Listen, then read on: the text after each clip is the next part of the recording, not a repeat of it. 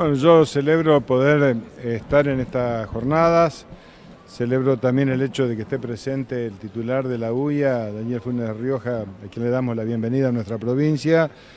poder tener este espacio de retomar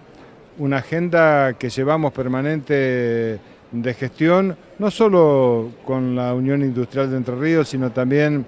con distintas entidades que agrupan a productores, a empresarios, a comerciantes, al sector turístico. Entre Ríos es una provincia con una gran diversidad en sus sistemas eh, productivos, industriales, en la agroindustria y se necesita estar permanentemente generando acciones desde lo público que favorezcan y generen las condiciones de crecimiento del sector para que a su vez pueda redundar también en generación de empleo. Y hay datos que son alentadores, que los ha suministrado el Consejo Empresario Entrerriano de un crecimiento del 3,1% del empleo privado en la provincia de Entre Ríos. Y el empleo privado eh, ha sido uno de los objetivos que se había propuesto la Unión Industrial de Entre Ríos,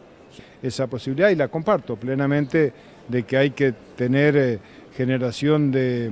de empleo a través del sector y en ese sentido hemos eh, lanzado un programa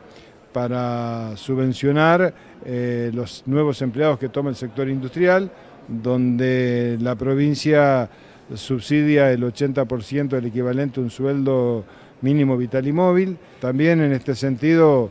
eh, destacamos el acompañamiento para trabajar en líneas de créditos que favorezcan distintos segmentos o sectores que lo necesitan y por supuesto cuando existe una emergencia, cuando existen problemas que uno pueda avisorar a futuro, como para el sector agroindustrial, lo que representa este fenómeno climatológico de sequías, también está el ministro, el secretario de Agricultura de Nación, Juan José Bailo, que conoce perfectamente bien este sistema productivo en Entre Ríos, vamos tomando medidas que que anticipen. Es la forma de trabajar y de construir eh, políticas públicas que eh, propendan a que nuestra industria, a que el sector privado de Entre Ríos pueda afianzarse, pueda desarrollarse. La tarea nuestra como gobierno es justamente eso,